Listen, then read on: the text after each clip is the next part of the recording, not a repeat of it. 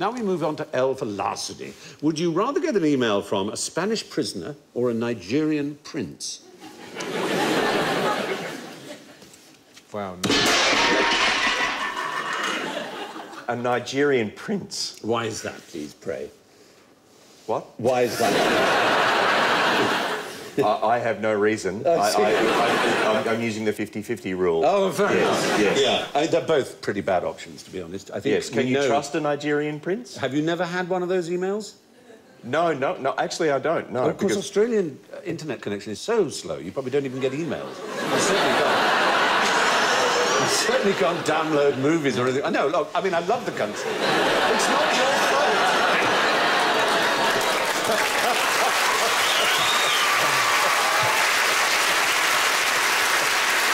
Listen, He's fellas. only going over there because that's the only place he can get Wi-Fi.